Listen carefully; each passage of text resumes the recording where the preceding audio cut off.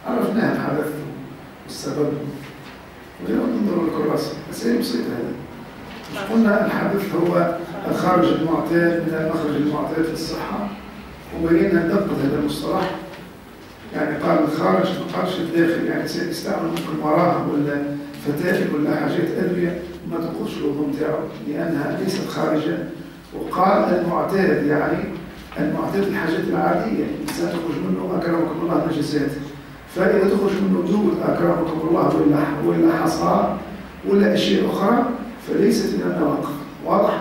النواقض هي النجاسات المعروفة أكرمكم الله واضح؟ قال الخارج المعتاد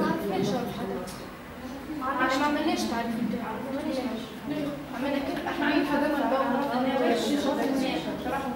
لحظة تفضل معنى الحدث عرفه الشيخ الدرديري شرح شرح- في شرحه الكبير على مختصر خالد بقوله. هو الخارج المعتاد من المخرج المعتاد في الصح. أنت تقري معنا السنة الأولى. الحمد لله. جاء مرض بهذا الشيء.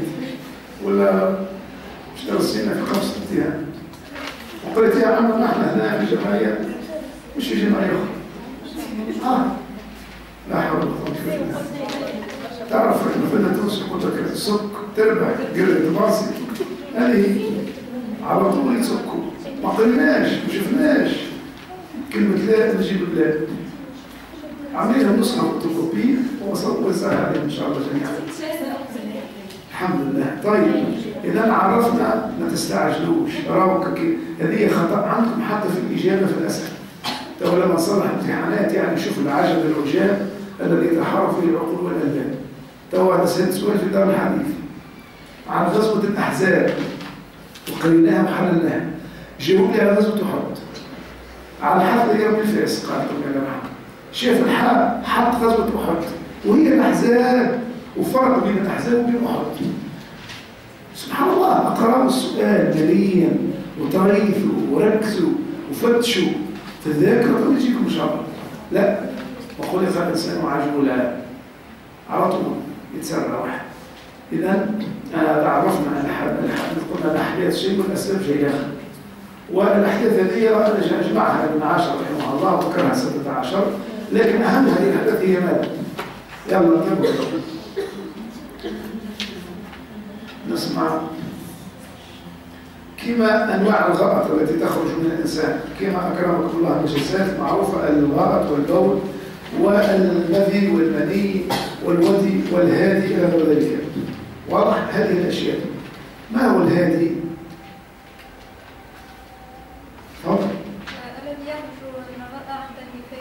نعم. واحد قلت له ما هو الهادي؟ قال لي اسم الاسماء لها الحسنى وبدا يشرح في اسماء لها الحسنى. والهداية وأنواع الهداية حسبنا الله ونعم الوكيل. إحنا في درس عقيدة وأنا سميت الفقه. باهي إذا أنواع النقاء هذه التي تنقض الوضوء تنقض الوضوء هي أحداث ذكرنا البعض. وثم أسباب ما هو السبب؟ هو الذي لا يكون حدثا ناقضا بذاته وإنما يكون سببا لنقض الوضوء. واضح؟ كما مثل ماذا؟ النوم العميق الذي يغيب صاحبه عن الوجود لا يدري ما يقع حوله. واضح؟ أما النوم الخفيف فلا ينقض الوضوء. النوم العميق ينقض الوضوء. وذكرنا أدلة على ذلك. ثم الأذمان نفس الشيء. وكذلك اللمس بشهوة. فهو يكون السبب لخروج شيء أو لإثارة الشهوة فيكون نقدا الوضوء لكن هذا من الأسباب وليس من الأحداث. باه. شنو ورينا آخر كذلك في نواقض الوضوء؟ هل الشك ينقض إيه، ماذا قلنا؟ هذا أن ذكر الإيمان. هذا هو. نحن ذكرنا بأنه مشهور في المالكي أن الشك ينقض الوضوء.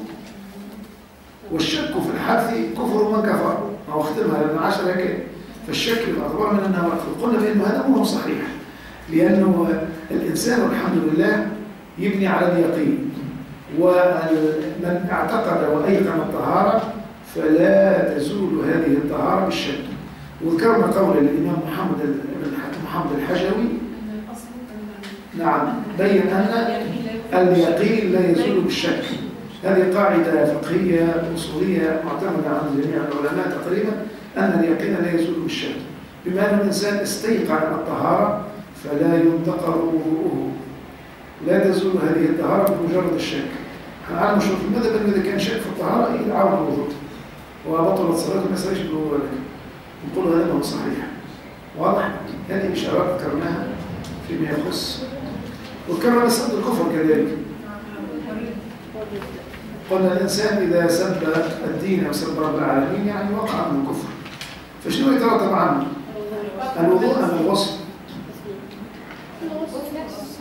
قبل الاثنين. قلنا فيها قولين المسألة قلنا ثم من قال أنه يجب عليه الغسل لأنه الكفار خرج من الملة والعياذ بالله. وثم من قال يجب عليه الوضوء. والمسألة فيها قولان فيها قولان هذه أهم العناصر اللي شفناها في ماذا؟ في نواقض الوضوء مش حاجة أخرى؟ ده مش حاجة غامضة عندكم نسأل عليها من الآن. حتى بعد ما تقولوش لو ما عرفناش ما فهمناش. وأنتم ماضيين انكم تسكوا في ساعة. تنكروا يلا.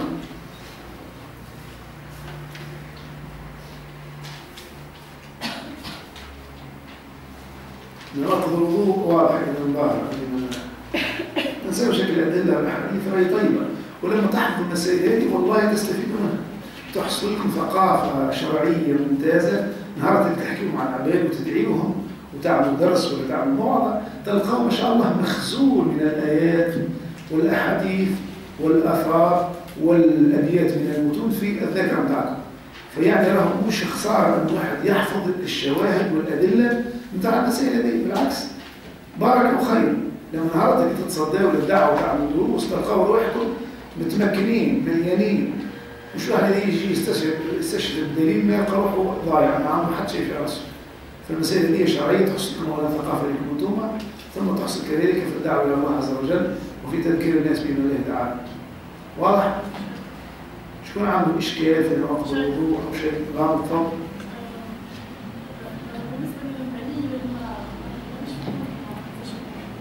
إحنا ذكرنا بأن الجنابة هي حدث أكبر بالنسبة للرجل والمراه وذكرنا ضمن حديث حديث أم سلمة وغيره أن المرأة إذا وجدت الماء هل عليها غسل قال نعم. إذا أجنبت المرأة قال نعم إذا وجدت الماء واضح؟ فكذلك تغتسل المرأة إذا كانت رجل أو مراه نفس الشيء غير أن المرأة أقل. ممكن تجد القليل من هذا الأثار بتاع الجنابة فتغتسل نفس الشيء نفس الحكم أي بينا المسألة دي قلنا إذا إذا التقى الختانان وجب الغسل في حديث النبي صلى الله عليه وسلم. يعني إذا وقع تلاقي الأعضاء من بعض البعض ولا حياء في العلم ولا حرج في الدين إذا وقع تداخل الأعضاء فوجب الغسل سواء كان أنزل أم لم ينزل. كما ذكرنا في الحديث الحمد لله. هذه فيها إشكال هذه؟ ها؟ يعني الغسل يجب عند التقاء الختانين التقاء العضوين ولو لم يقع إنزال هذا ما هو معروف في الفقه الإسلامي واضح؟ ثم إشكال في هذا الأمر؟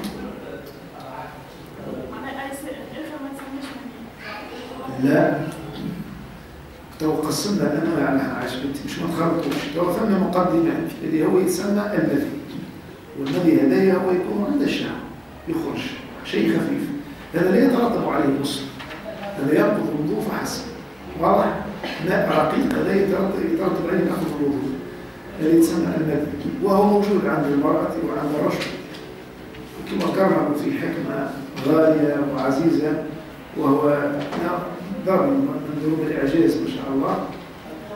في حكمة كبيرة والحمد لله أنه يحمي المياه التي يتخلق معها الإنسان من ناحية ثم كذلك ييسر الممر والطريق والمسار بالنسبة للبويضة أو بالنسبة للحيوان من النار ففي حكم كثيرة ما شاء الله خاصة أن المكان هذا فيه نجاسات أخرى اللي هي قاتلة وفتاكة بالنسبة للمواد التي يتخلق منها الإنسان. فلو اصطدمت البويضة أو الحيوان الجنوي بالبول أكرمكم الله اللي هو فيه مادة ملح مركزة لماتت هذه المواد ولكن ما فضلها عليه. فيه إعجاز في النهي الناس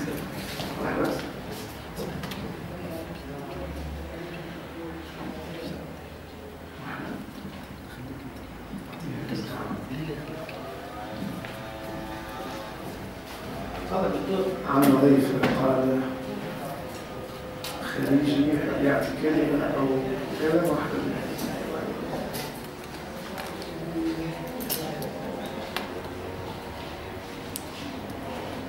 إذا هذا ما رأيناه المني شيء والمني شيء فرق بينهم ثم شيء فرق بينهم ثم يتفق عليه يعني وصل عليكم السلام السلام عليكم ورحمة الله الشيخ مختار الشبيلي درس دكتور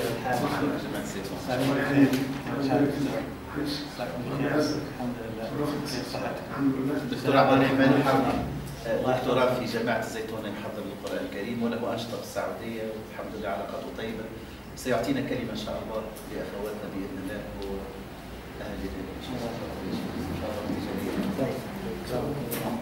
وأهل الظاهر لا يحتاج لا يحتاج الصوت. تفضل. دكتور شريف تفضل دكتور جلالتي ما عندوش هو رئيس قسم علوم القرآن في جامعة الزيتونة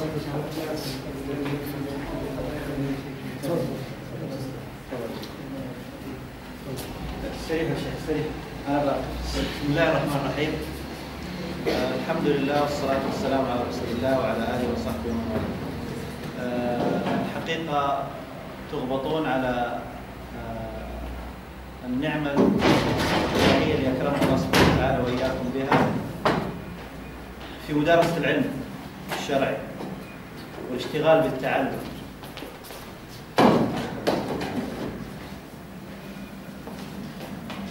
اسمحوا لنا آه، ونتواصى نتواصى يعني. يموت المسلم وهو يتعلم. المسلم يموت وهو يتعلم.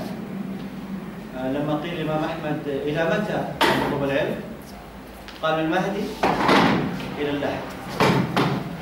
آه، راحت الأمم وجاءت الثقافات والمفكرين وأهل التجارب. والعلوم الإنسانية وأوغلوا وذهبوا. ثم جاءوا وقالوا الآن النظرية في ما يسمى بالتنمية البشرية. قالوا الاستثمار أعظم استثمار فين؟ بشر. في الإنسان. في الإنسان. بمعنى أنه حتى الآن رجال أعمال رجال أعمال يقولون أفضل مورد يأتي بالمال هو الاستثمار في الناس. استثمار في البشر. وهو ما يسمى بالآن نحن بالمعرفة. المعرفة. يعني التعليم. التنمية. تنمية الإنسان تنمية التعليم الآن الدورات هذه ما يسمى بالدورات التدريبية. هي تعليم. أول كلمة نزلت في القرآن الكريم؟ اقرأ. يرفع يرفع الله الذين آمنوا منكم والذين أوتوا العلم درجات. لو تأتي للنصوص التي أمرت في في شرعنا الحنيف بالتعليم وال- وال- وال- والحرص على العلم والعيش. العيش كل العيش الحياة كلها في بين أحضان الكتب. تندهش. وإن الحيتان ها؟ لا لا يسبح لا لا يستغفرن لمعلم الناس الخير. وأيضا وال وال وال والنمل كل هذه كما في الحديث تستغفر لك يا متعلم الخير. وتستغفر لك يا معلم الخير. خواتي النصوص التي جاءت في الكتاب والسنة والتي أيضا وردت عن علماء الأمة بالحظ على التعلم والمعرفة والقراءة ومدارسة العلم والله العظيم أنها مدهشة. وتريدون العز؟ تريدين السلطان؟ عليك بالعلم. أي سلطان تقصد؟ العلم له سلطان. أليس كذلك؟ سليمان عليه السلام تعلم ممن؟ من الهدهد. ما الذي جعل النبي الذي سخر الله له الجن والإنس وملك الأرض كلها؟ أربع ملكوا الأرض اثنان مسلمان واثنان كافران. أليس كذلك؟ ذو القرنين وسليمان والنمرود والآخر. ما الذي جعل سليمان سليمان عليه السلام يتعلم من الهدهد والهدهد يقف بشموخ أمام النبي ويقول جئ وجئتك من سبأ. فقال أحط بما لم تحط. الله. هذا تفريش ونتف قال أحط بما لم تحط. به ما الذي جعله يقول هذا؟ العلم. علم شيء لم يعلمه نبي الله سليمان سلطانك يا أختي الكريمه الذي يجعلك في أي مجتمع تنزلين فيه تكونين قوية مؤثرة. آه، توصل رسالتك. النور يجب أن يدخل في, في, رأسك وفي قلبك عن طريق الكتاب والسنة. تعلمي. والله العظيم يحتاج لك الناس. تعلمي. والله تجدي الحسنات كالأنهار تجري بين يديك. تعلمي بصدق وإخلاص وبذل واجتهاد وتفاني. ليس تعلم أجي أحضر المحاضرة وأقول انتهيت. خذي من الاستاذ خذي من الشيخ. اصدقي في أنك تريدي أن ترفع الجهل عن نفسك. ارفع الجهل عن نفسك. والله العظيم لتكوني سيدة في المجتمع التي فيه من السادات التي يتلقى الناس منها. ثلاث أرباع دين أخذناها عن عائشة. أليس كذلك؟ الرجال صدروا عن عائشة رضي الله عنها وأرضاها. فلا يوجد عندنا أنه والله المرأة يا إخوة أخواتي والله من خلال خبرة الحياة. إخواننا الذين استغرقوا في العلم.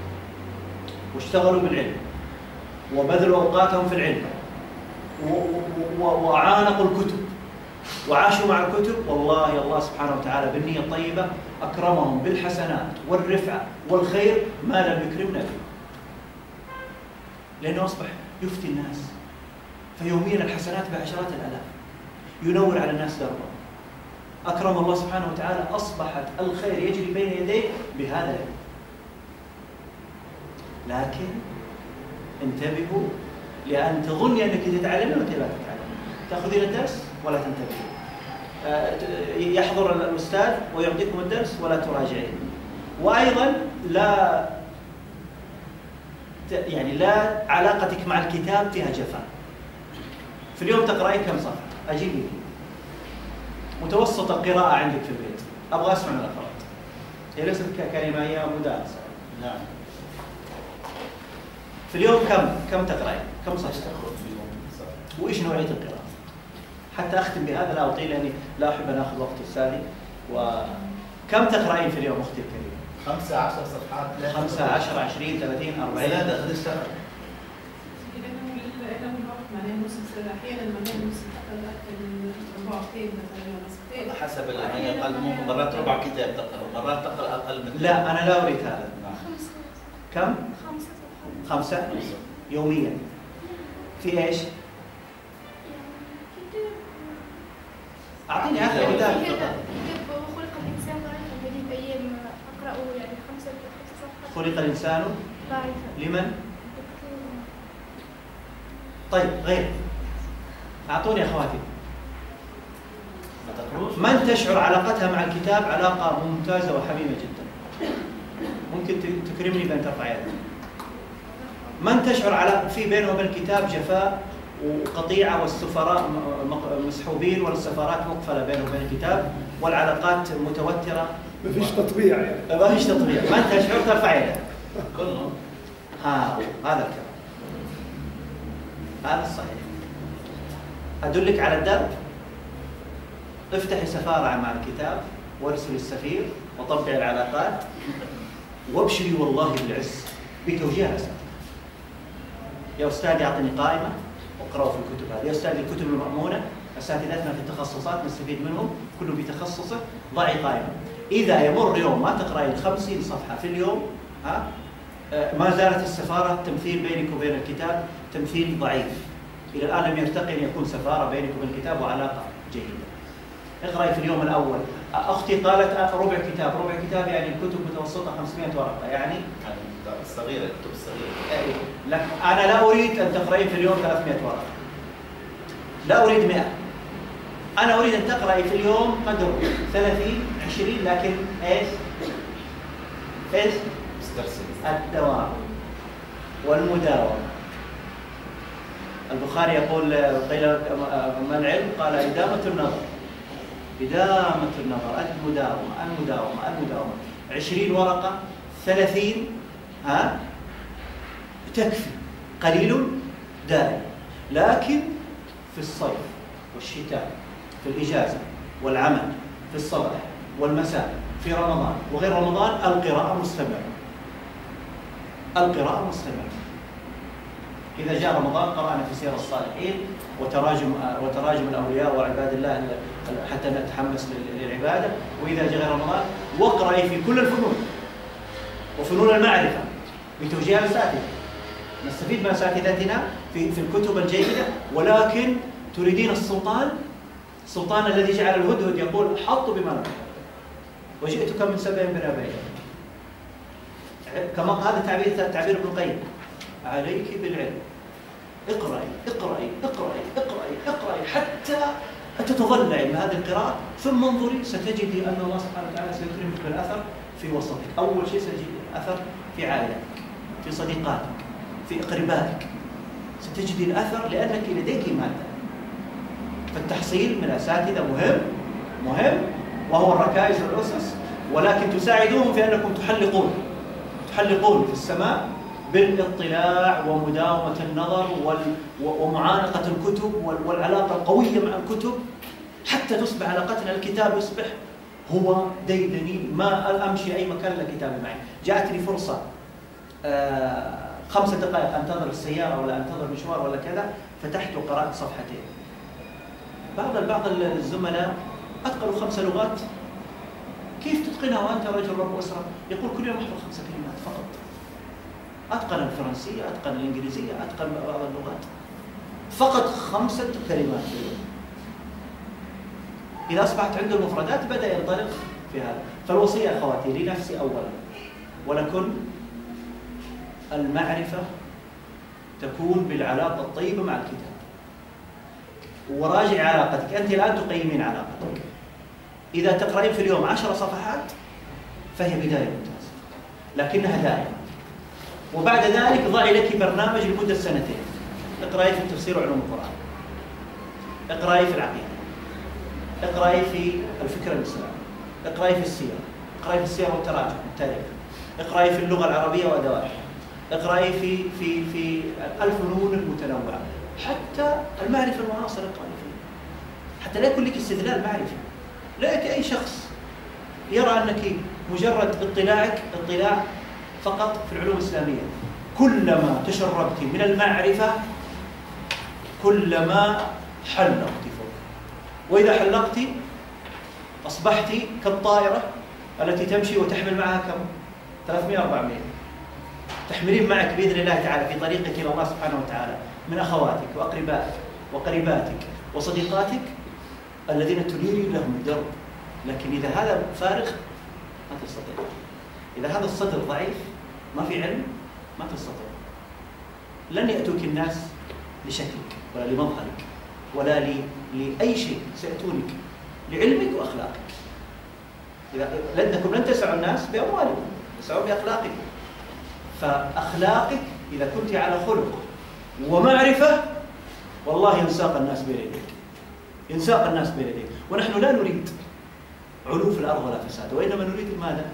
أن ننير الدرب للناس ولا يدخل النار أحد. نحن لا نريد شيء. نحن نريد تعبيد الناس لرب العالمين. لكني أنا أتألم أن يموت أحد من أقربائي وهو ميت على على أمر ربما يهلك عند الله سبحانه وتعالى أنا أتألم. لا لا لا نعتقد لصاحب الكبيرة أنه إلى النار وإنه إنما تحت المشيئة ولكن عندما يموت هو عنده شائبة في التوحيد. أليس كذلك؟ أنا ما لا أدري. أمره إلى الله سبحانه وتعالى. ولكن أنا أريد أن يتنور الناس النور الحقيقي نور الكتاب والسنة نور العلم. ما الذي جعل ابن تيمية وابن القيم وأحمد ومالك والشافعي وسفيان والبخاري ومسلم و و و و و وغيرهم من كبار علماء الإسلام. الآن في في الجامعة الإسلامية طاهر بن عاشور دراسات من من من علماء بلدكم. دراسات. وتندهش لما تقرأ في تفسيره وغيرهم. ابن كثير. الطبري. ما الذي جعل هذه الأسماء تتكرر تتكرر تتكرر تتكرر في كل يوم؟ ما؟ طيب أسألكم سؤال وأختم. ما اسم الحاكم الذي كان في عهد ابن تيمية؟ ذهب وهو كان صاحب السلطان. ذهب. ما اسم الحاكم الذي كان في عهد؟ الذي عاش البخاري عنده؟ من هو؟ السلطان صاحب السلطان الذي كان البخاري. وأوذي بسببه. من؟ ما اسم الحاكم الذي جلد الإمام أحمد؟ وضرب حتى أغمي عليه. من هو الحاكم الذي أمر بالإمام مالك أن يوضع فوق حمار وأن يطاف به؟ لما عارضهم في المسألة. من؟ ذهب. ذهب. علما أن تاريخنا كتب كتب من؟ سير من أكثر شيء؟ الملوك. تاريخ الامم الملوك. تاريخ الأمم والملوك تاريخنا كما يقول الطنطاوي دخل في القصور و- و- و- ودهاليز القصور ونسي الأمة. تعال اقرأ ابن كثير اقرأ ابن الأثير اقرأ غيرهم. تجد تاريخ ملوك. تاريخ ملوك ومع ذلك نساهم ومع ذلك نسوا كلمة كلمة منيرة أستاذ ومع ذلك نسوا آه، البخاري الآن في كل مكان. قال البخاري الآن كم مرة يذكر البخاري؟ مسلم. قال مسلم. بل حتى أصحاب المعرفة اللادينية لأن يا جماعة العلم العلم ترى هذا شيء شيء شيء غير طبيعي. ولذلك أول كلمة نزلت من السماء لهذه الأمة اقرأ. اقرأ.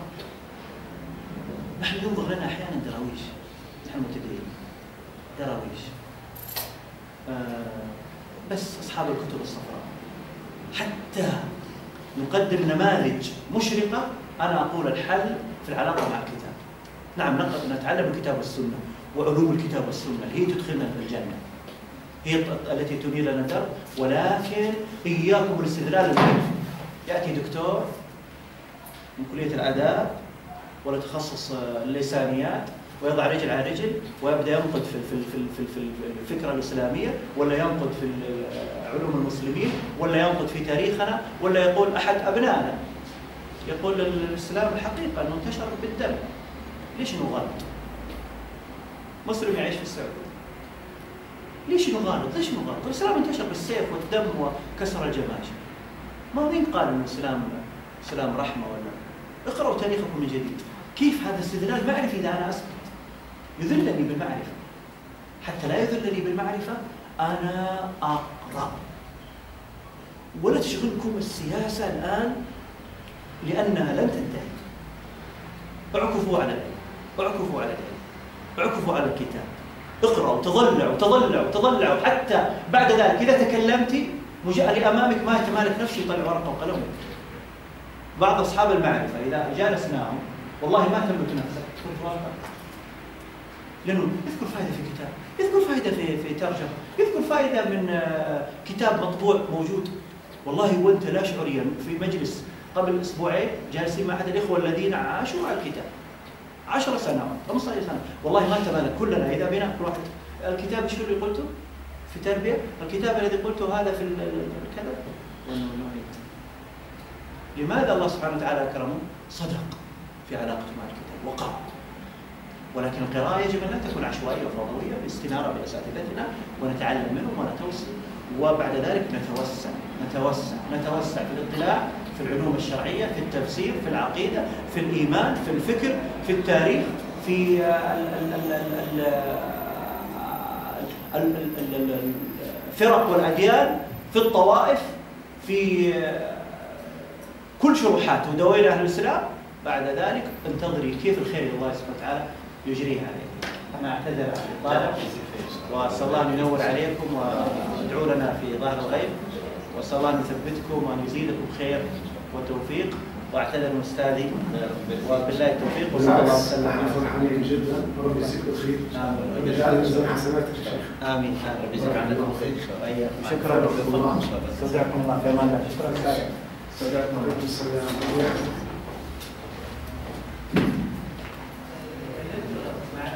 بارك الله فيك وجزاك الله خيرا نعم جيدكم تتطبق على الكلمات وتتغرب بالمطالعة وتكون مطالعة هادفة ولا الإنسان ينتقي عيون الكتب. ويلخص كل مطلوب الكتاب تلقى فيه حديث جميل تلقى أثر وتلقى فائدة فتعمل عليها علامة بالقلم الرصاص. وبعد ما تكمل الكتاب تدخل هذا الكتاب تستخرج منه هذه الفوائد والدرر أنا عندي سجل كبير سميته صيد الفوائد. فنجمع فيه خلاصات الكتب التي طلعت لها وهي بالعشرات الحمد لله. فأحيانا نتعب باش نلخص ولي طلبت زوجتي باش هي تعاوني فاستفادت استفادة عظمى أنها وجدت زبدة وخلاصة الكتب التي طلعت لها انتفعت بها والحمد لله. إذا هذا ما رأيناه نحن قلنا نواقض الوضوء بعد ذلك رأينا الغسل وأحكام الغسل بفرائضه وسننه وآخر شيء شفناه أحكام التيمم أنتم أساسا كما قلنا نركزوا على المحورين الأولين الأولين النواقض والغسل وتبقى بقية الأشياء إن شاء الله نكملوها بإذن الله في في بقية السنوات إن شاء الله. شكون عنده سؤال أو استطلاع فليتفضل. تفضل سيدي كلمني في هذا لا يشكر الناس لا يشكر الله أنا في هذه السنة أنا حبيت اشكر شخصيا سيدي معناها سعد صبر استفدت من منك سيدي حاجة أخرى أنا جيت مش نقرا ماده العقيده هنا تصورت اني مش نقرا ماده العقيده بالطريقة النمطيه توحيد الالوهيه توحيد الربوبيه رايت فيكم انتماء كبير لهذا البلد أنا واحدة من الناس ما كنتش نعرف الشيخ محمد مكي بن عزوز اتحتم لنا الفرصه ان معناها عرفنا هذا الرجل اتحتم لنا الفرصه ان نتعلم كيف معناها نتناول شرح الرساله آه، سيدي جزاكم الله عنا كل خير بارك الله بارك فيك. الله فيك الله يجزيك بالخير ربي يعينك ربي يجزيك بالخير ربي يثيبك يتقبل منا ومنكم صالح الأعمال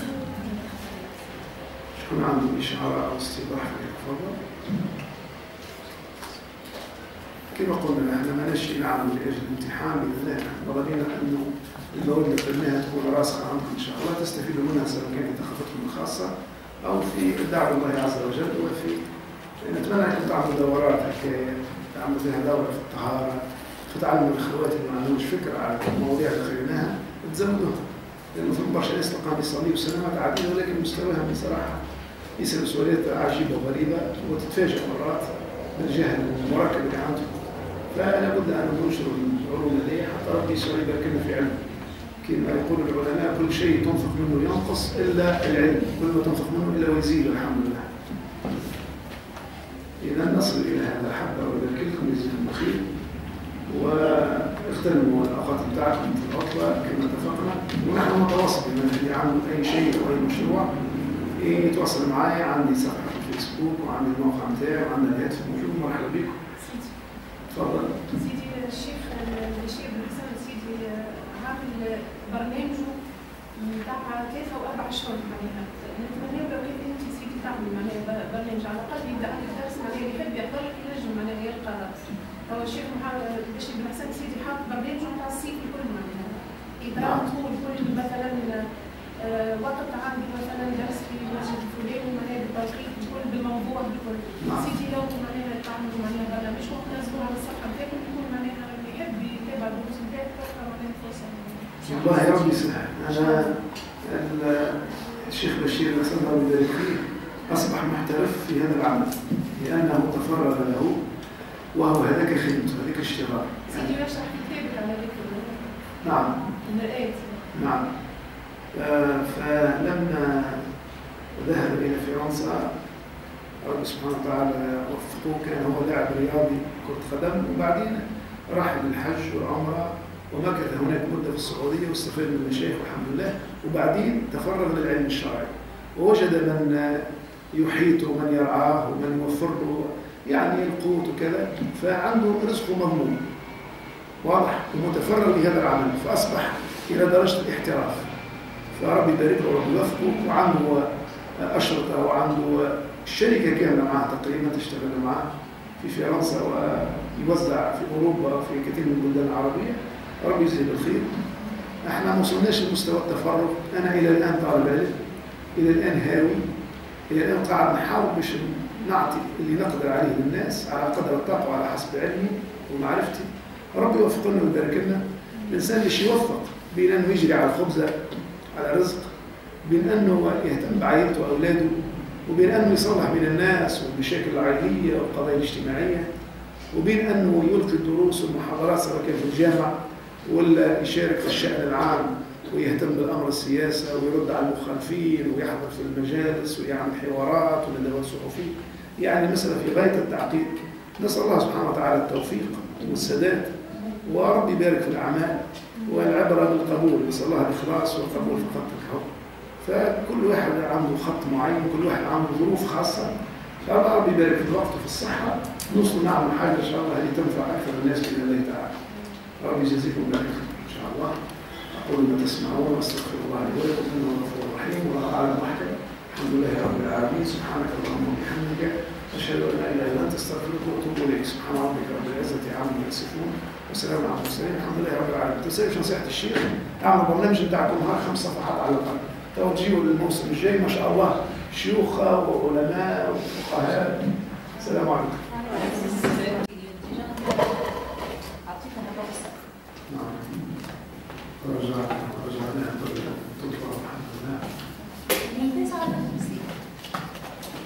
جيدة؟ يتعلم الإنسان أن مناسك العمر بطريقة مبسطة. وليه؟ ولا المعلومات اللي الاسئله اللي فيها هي استنتاج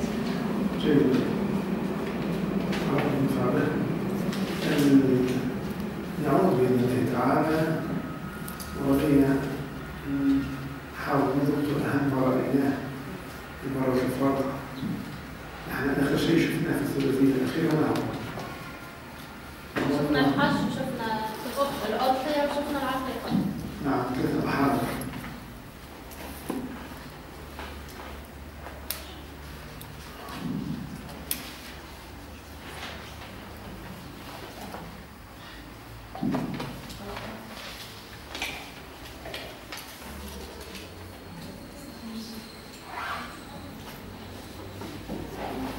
في الحج حلو اللغز نشوفوا أهم ما رأيناه الحمد لله ذكرنا في مستهل باب الحج أن الحج هو فريضة من فرائض الإسلام قد ثبت وجوبه بالكتاب والسنة وذلك في قوله تعالى ولله على الناس حج البيت من استطاع إليه سبيلا.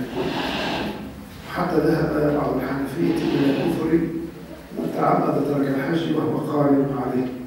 قالوا إذا أتممنا الآية يقول الله عز وجل ولله على الناس حج البيت من استطاع إليه سبيلا. ومن كفر فإن الله غني عن العالمين فقالوا السلام فقالوا من ترك الحج متعمدا وهو قادر ماليا وجسديا فهو كافر والعياذ بالله ويرون أن الحج على الفور هذا الحنفية. لكن جمهور العلماء على أن الحج فريضة على قدر الاستطاعة ولا كلام هذا دليل الكتاب أما دليل السنة فحدث النبي عليه الصلاة والسلام في الصحيحين حديث ابن عمر رضي الله عنه قال بني الإسلام على خمس شهادة أن لا إله إلا الله وأن محمدا رسول الله وإقام الصلاة وإيتاء الزكاة وصوم رمضان وحج البيت لمن استطاع إليه سبيلا. وحج البيت هو الركن الخامس من أركان الإس الإسلام. كذلك الحج بإجماع أهل العلم أنه فريضة من فرائض الدين. المناسك الحج كما قلنا فيها أركان وفيها سنن. ما هي أركان الحج التي ذكرناها فيما مضى من الدروس؟ كم عدد الأركان؟ أربعة. أولها الإحرام. ثانيها طواف القدوم ثالثها السعي بين الصفا والمروة رابعها الوقوف بعرفة هذه أربع أركان إذا كان اختلف ركن من الأركان بطل الحج وأعظم ركن في هذه الأربعة هو ماذا؟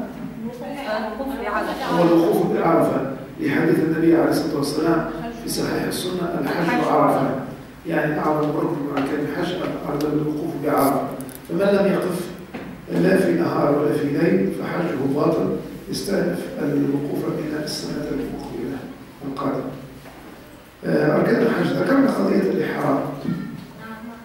وقلنا الإحرام هو التخلص من المخيط والمحيط مع نية الحج. فهذا يسمى الإحرام. فالإنسان عليه أن يتخلص من الأثواب هذا ما يخص الرجال ولا كلام أما النساء المرأة تلبس ثوبها العادي. فهي ما هي مطالبة بالتخلص من المخيط. أما الرجل يلبس ثوبين اثنين يلبس إزار ويعمل فوطة من فوق فوطة بروطة كما يقال زوز فوط يستر بهما جسده. آه، التخلص من المخيط بالنسبة للرجال والمحيط الكل ما يحيطه الجسم يتخلص منه إلا رخص بعض العلم فيه كما ماذا كما ماذا في سامة لك بالعربية شو تسمى اسمه الهميان. الهميان هو الحزام يحط فيه الأموال حافظة النقود يسمى بود نحن مع دارج نقول هذا الهميان. يجوز شرعا أنه يلبسه باش يحفظ فيه الأوراق بتاعه ويحفظ فيه الأموال والمصاريف اللازمة لحج إلى ذلك. به يجوز هذه الأشياء. قلنا الإحرام له ميقات زماني وله ميقات مكاني ما هو الإحرام الزماني للحج؟ قال تعالى الحج أشهر معلومات. شنو أشهر؟ من وين يبدأ؟ من أول شوال. يعني ليلة العيد إذا كان غربت الشمس ليلة من رمضان بدأ موسم الحج. دخل شوال بدأ الحج.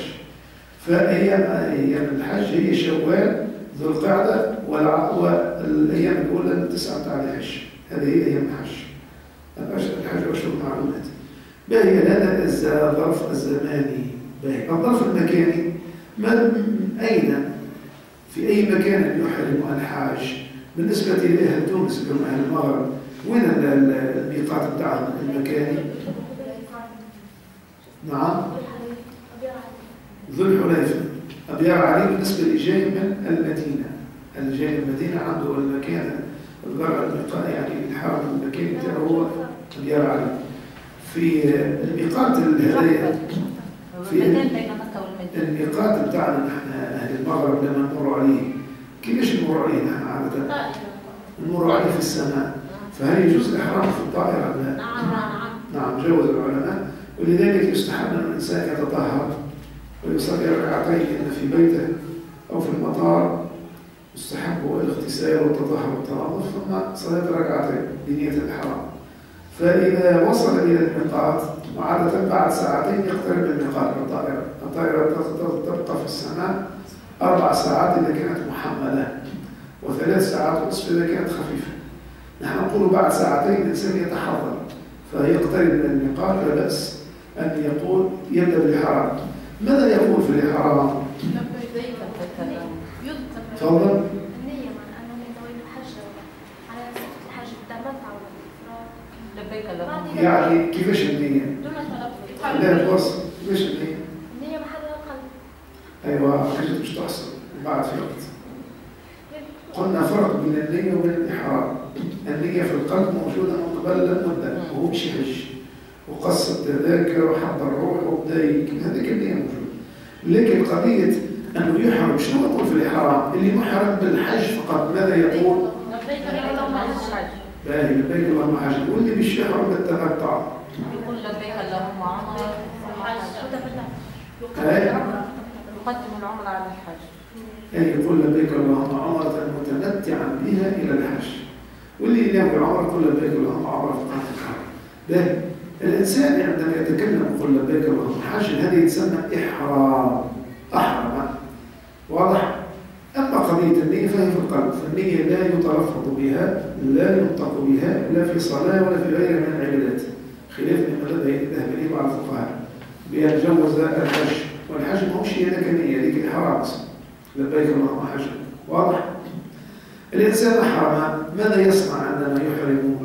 يحرم عليه العديد من الأشياء شنو الأشياء اللي تحرم على الحاج؟ يلا اذكروا لي أول شيء حلق الشعر والأذى اللباس. يحرم عليه لبس المخيط خاصة الرجل الرجل الطيب. الطيب.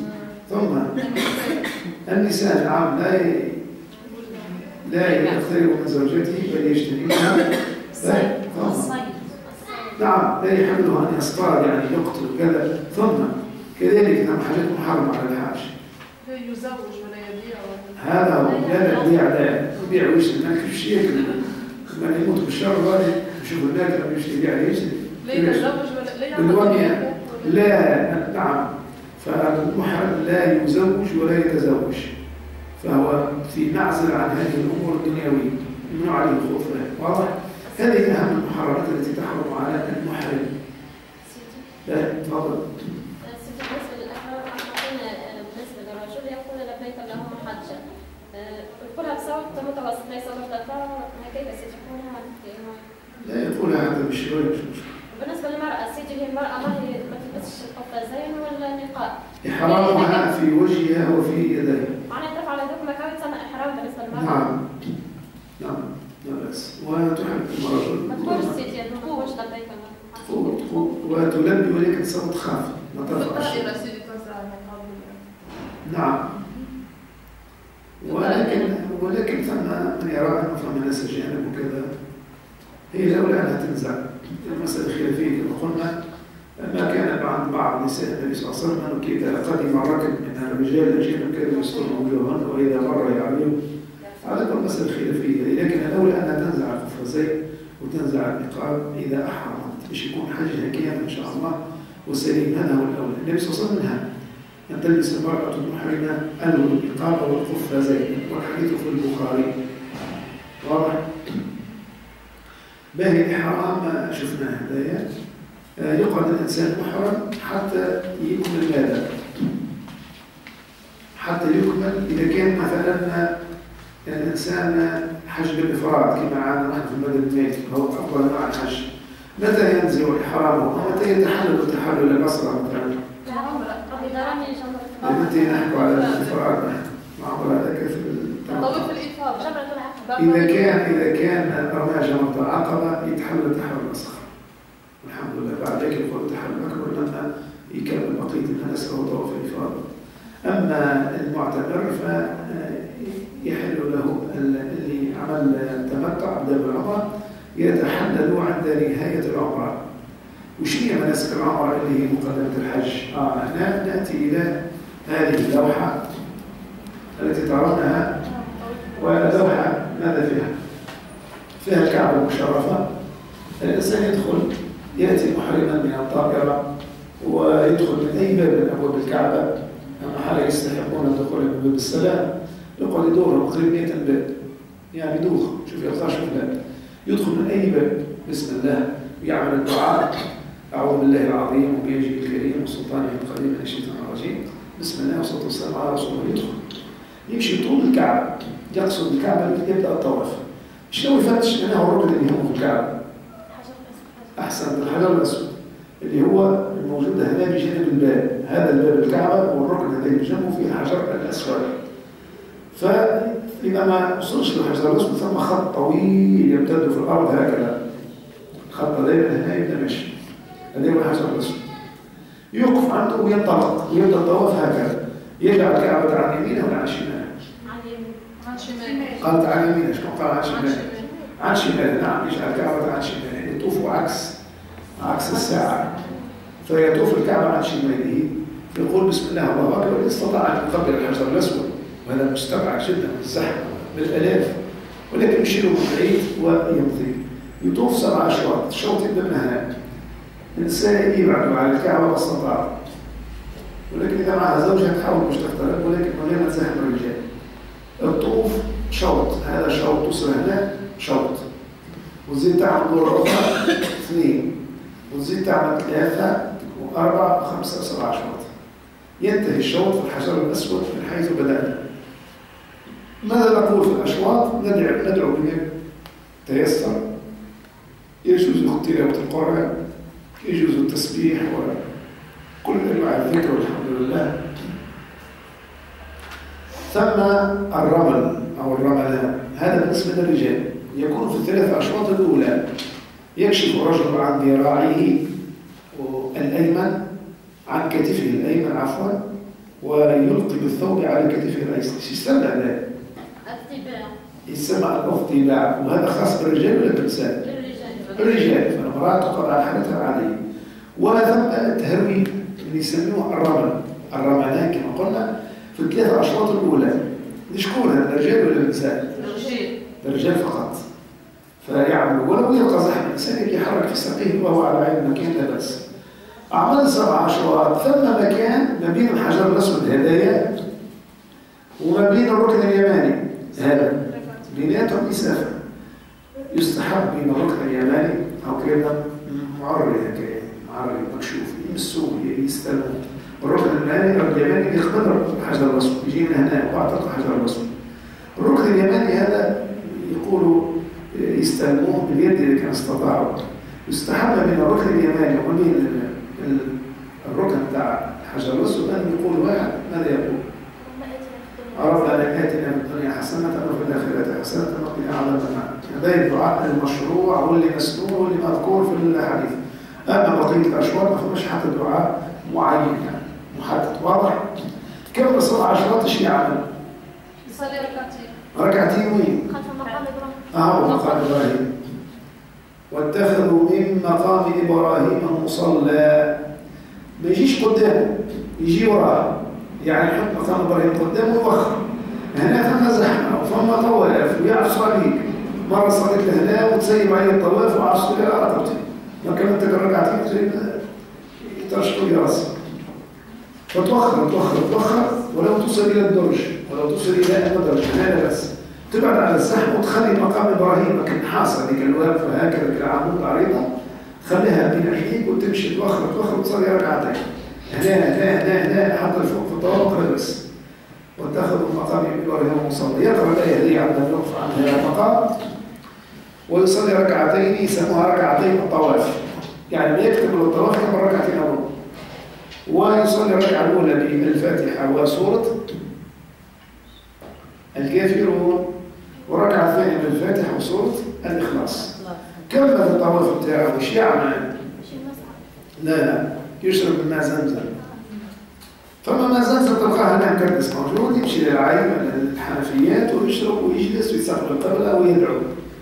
ويستحب أن يتضلع عن ماء زمزم بالطبع إذا كان فاضي إذا كان صايم يستنى حتى يجي وقت الإفطار. يطلع معنى الضوء يعني يشرب حتى تنتفخ أضلاعه حتى تتملي كرشه وكما قال عليه الصلاة والسلام زمزم لما شرب هو طعام طعم وشفاء وسقام. فمن شربه لأجل الطعام من أجل الجوع يشبع إن شاء الله. ومن شربه لأجل العطش يروى ومن شربه لأجل المرض يشفى بإذن الله تعالى إذا طفنا سبع أشواط وصلينا ركعتين طواف وراء مقام إبراهيم هدايا وشربنا من زمزم. واضح؟ ثم حاجة أخرى كذلك يعملوها هي الملتزم. ولكن قلنا هذه مسألة مستحيلة والآن أصبحت ممنوعة. وهو أن الإنسان ما بين الباب بتاع الكعبة وما بين الحجر الأسود ثم مسافة بتاع 300 متر تقريبا كيك هذا فيلصق الإنسان بظهر الرجل اللي يطلع يلصق يلصق الكعبة كله يدعي. ما عادش موجود. يعني الشرطي واقف هنا عند الحجر الأسود ويضرب الحبل ويبعت في العباد وما يستطيعوش. فهذه عملية عسيرة تسقط هنا يمشي للصفا والمروة. أو يجي على الصفا يطلع في الدرج يلقى شوية جبل. جبل عالي زي لما دخل مات في المروة مشي ذات قاعد كيف الأرض. شوية كعبة كعبة مش مع يلقى جبل شوية طالع مش لازم يطلع في الجبل يوقف عند هنا يستقبل الكعبة يدور هنا يستقبل الكعبة مش يعمل السعي إلى الصفا والمروة هذا السعي 320 متر يمشي يرجع يعني يروح في الصلاة جنبه هنا الصفاء يوقف ويستقبل القبلة ويرفع يديه ويدعي وكان النبي صلى الله عليه وسلم هذا يمنع التهليلات يقول لا إله إلا الله وحده لا شريك له له الملك وله الحمد على كل شيء قدير لا حول ولا قوة إلا بالله لا إله إلا الله وحده. ولا نعبد إلا إياه. ولذلك بعد يقول لا إله إلا الله وحده نصر عبده وصدق وعده وهزم حسب وحده. ويدعي الدعاء مستجاب هنا فيتلفت القبله ويدعي. وبعد يبدأ المشي بتاعه. المشي مش مشي عادي. لما يوصل بين العالمين الأخضرين ثم انبوبات تبنيون أخضر إذا كان الصبح اليوم يهرب شكون يهرب الراجل ولا؟ الراجل وتشوف انسان هرب مع جهته حال حبيبي. مظاهر عجيبه وغريبه تقول لك الرباعيه يا عجيب؟ مسكين. هذه تو استناك ولا شيء. قاعد تهب وراك. فيهرب بين العالمين الاخضرين وبعد يطيح ويمشي عادي؟ حتى يوصل خد 120 متر ويوصل للمروه يوصل المروة. يعمل لفة يدور. يدور يعطي شوية حجاره يوقف عنده شوية حجاره بتاع المروة. ويتلفت للكعبه كالعاده يتلفت للكعبه ويعمل نفس التهليلات لا إله إلا الله وحده لا شريك له له الملك والحمد لله القدير وبعد يدعي يدعي يدعي وبعد يرجع.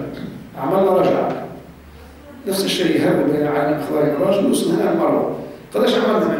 سعي زوز واحد اثنين ثلاثة أربعة خمسة ستة وبعد السابع ينتهي في المروة. كملنا العمرة بتاعنا. يخرج من أكثر باب طيب نحن نعمل في الطواف وقام الصلاة. نخليها ناخذ دفعة على رأي لا نصلي ونكمل بقية الطواف بتاعي من حيث جلست. أنا هنا بين الصفا والمروة بنطوف وتقطع علي الوضوء. نكمل ولا نمشي نتوضأ؟ نكمل. نكمل لأنه السعي بين يشترط فيه الطهارة. بينما الطواف. الطواف اشترط فيه الطهارة. قاموا الصلاة وأنا هنا في الشوط الثالث.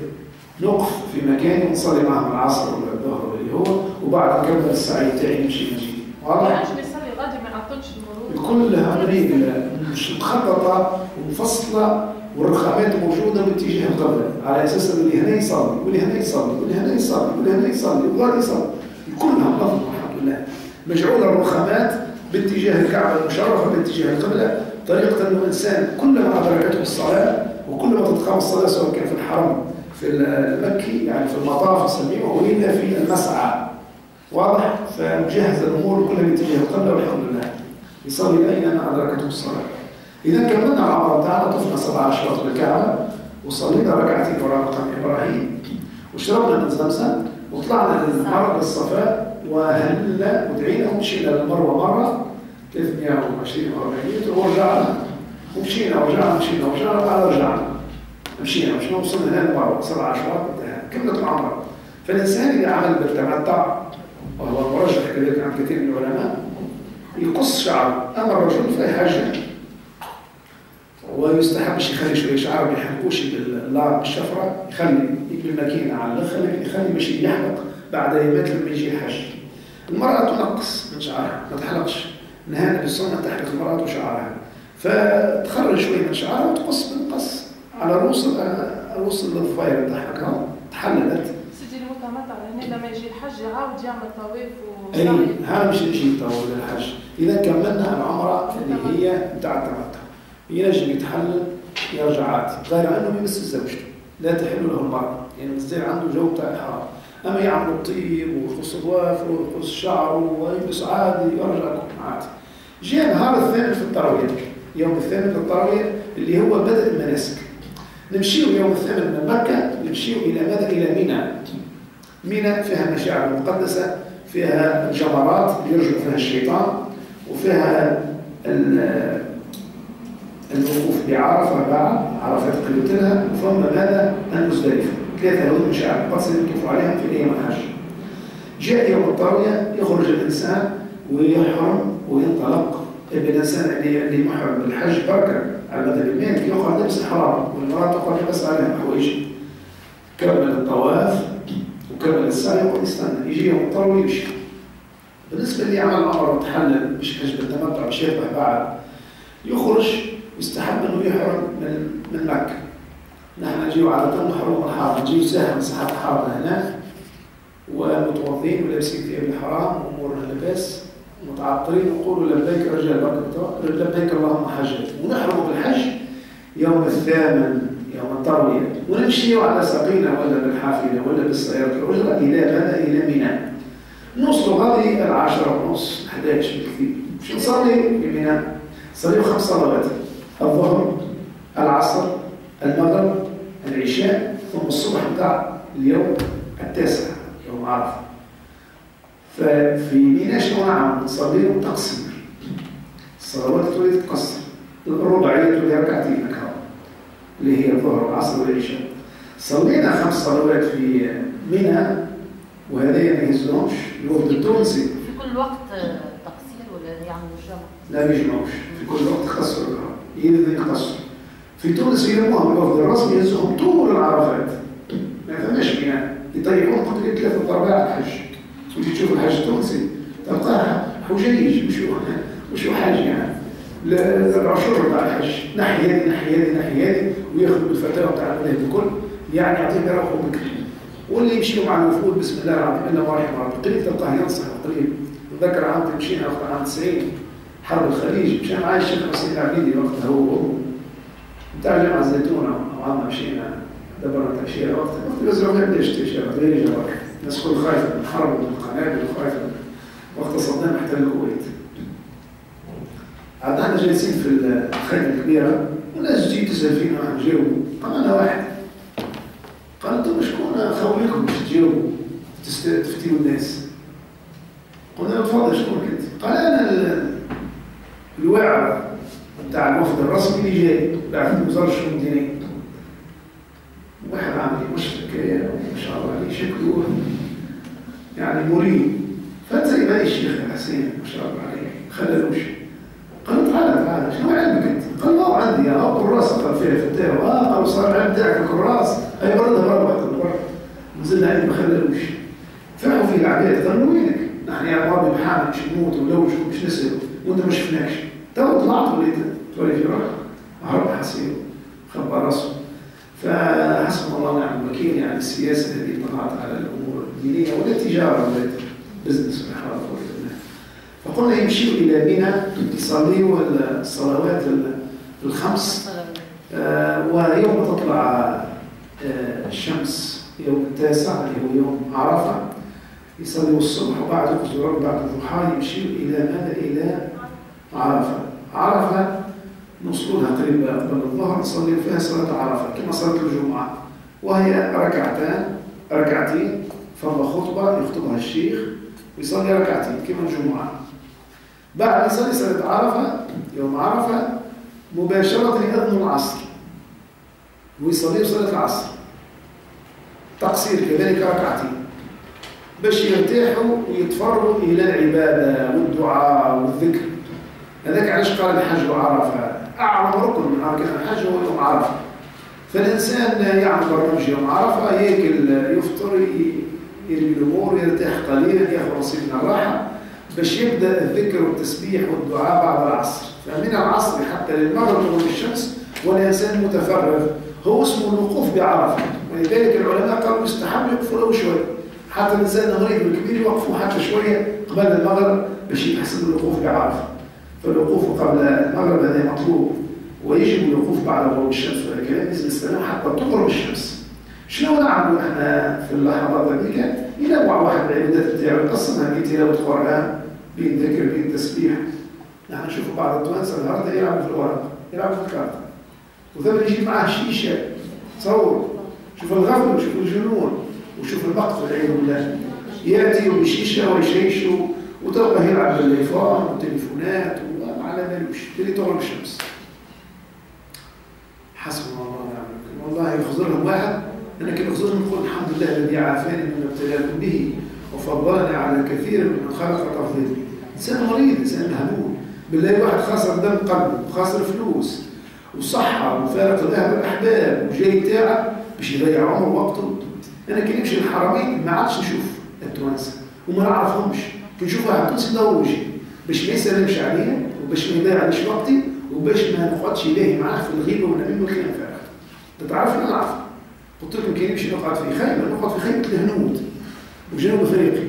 لا يعرفوني أنا أعرفهم لا نفهم كلامهم لا يفهموا كلامي لا نخاف من الرياء ولا نخاف باش يتصلوا بي لا يعرفوني تقالي واحد موحد إي نعم. ما أنا مش ماشي للعباد ماشي الناس ماشي لرب الناس سبحانه وتعالى. فإذا الإنسان يقطع العلائق والعوائق كما يقول العلماء. يتفرغ الله عز وجل. شو كلام هذا ماشي غادي يزيد يضيع وقته والوقت ثمين جدا. اللحظات يعني أثمن من الجواهر والياقوت والذهب. تفضل ركعتين يشبه الجمعة في بعد مشهور الميلاد كيف نصليهم قربهم للعصر بعد العصر ركعتي عرفة. أيوة. ركعتي عرفة كما قلت في وقت الجمعة. الساعة الواحدة. يبدأ المؤذن يصلي له ركعتين ويرتاح شوي ويقوم في ساعة يأذن العصر. مباشرة الناس قاعدة في الجامع والناس قاعدة في دخلش وقت العصر. لا. قبل ما يدخل وقت العصر يسموها جمع التقديم هذا. لأنه في حالة سفر وفي حالة انشغال بعبادة يوم عرفة. فيقدموا صلاة العصر على وقتها. فكملنا الماضي ساعة وسبعة كملنا خطبة والسلام تاع عرفة. الناس تسبح وتقرأ الكرسي تشرب ماء وتسمع به يقدر يجي أذن الأذان تاع العصر. ويقوم الإمام ويقيم صلاة العصر. نخرج من الجامع هذه ساعتين. كملنا كل شيء. نتفرغوا ياكل كما قلت لك ياكل نصيب وياكل كذا يرتاح وبعد يولي قرآن وذكر وتسبيح ودعاء ودعاء ودعاء وبكاء حتى تغرب الشمس. هذا يوم عرفة أعظم يوم في الحج. بعد ذلك الإنسان لما تغرب الشمس يبدأ يلم في حواجه وحباشه باش يقصد مزدلفة لازم تغرب عليه الشمس وهو في عرفة ما يخرجش من عرفة إلا بعد أن تغرب الشمس. واضح؟ وينفروا النفر يسميوها يمشيوا من عرفات إلى ماذا؟ إلى مزدلفة والمسافة قريبة 7 كيلو. ما فيش برشا يعني. على مش يمشي واحد كيف صحيح مش هتروح الحمد لله. الآن عندهم متروات وعندهم وسائل كذا. سهلوها مزدلفة نعملوا فيها؟ باتوا فيها إذا كان ما عندناش مشاكل. لكن اللي عنده أطفال اللي عنده نساء بخاف على الزحمة فيخرج من مزدلفة بعد نصف الليل. يوصل هو مخرج على 11 كذا بعد نصف الليل يحل له أن يخرج من كانت عنده زحمة وأطفال ونساء يخرج مع ساعة أو ساعتين يرجع لمين؟ يرجع إلى منى شنو يعمل في مزدلفة يلم الحصيات يلم الحصى التي سيرمي بها جمرة العقبة يوم العيد. سبع حصيات يلمها من هناك يستحب المزدلفة. والحصى نرمي بها هي أقل من الفولة وأكبر من الحمص. هذا هي تعبير العلماء بتاعنا والمشايخ بتاعنا مش يقرب متوسطة.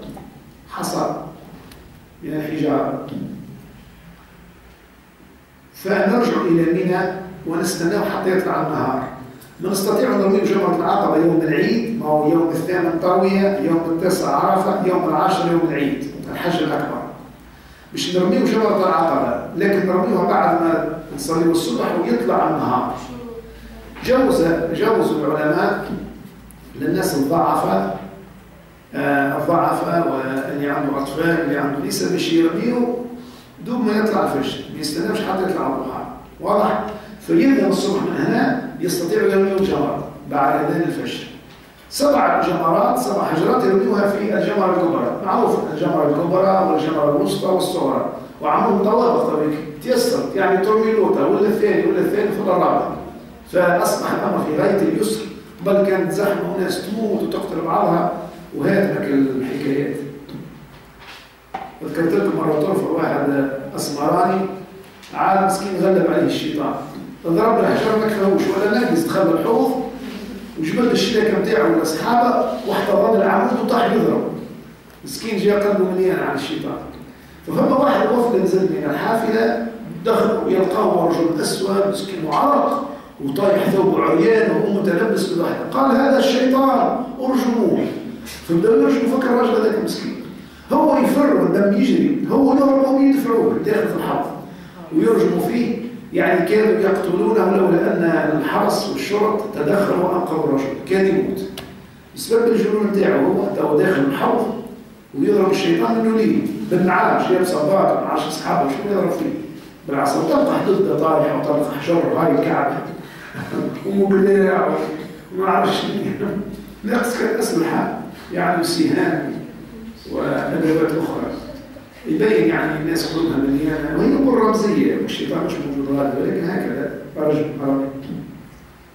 فيرمي جمرة العقبة الكبرى وقتها وبعدها تحلل. إذا جمرة العقبة يحل له أن يتحلل تحلل الأسرار. يعني يحل له كل شيء إلا النساء. شنو يعمل مباشرة بعد جمرة العقبة يرجع إلى الكعبة المشرفة حتى يطوف طواف الإفاضة كما قال ربي ثم أفيضوا من حيث أفاض الناس. إذا هذا ركن مهم طواف الإفاضة ركن من أركان الحج. فعلينا أن نأتي به. فكل ما ترجع بكري إلى الحرم بعد ما ترمي كل ما تلقى الحرم ثالث إحنا مرات نرجع الحمد لله نلقاو الخليفان يخطب في العيد. نلقاو الزاد في الثمانية الصباح يخطب فيه عيد الجمعة يعني خطبة العيد يوم العيد.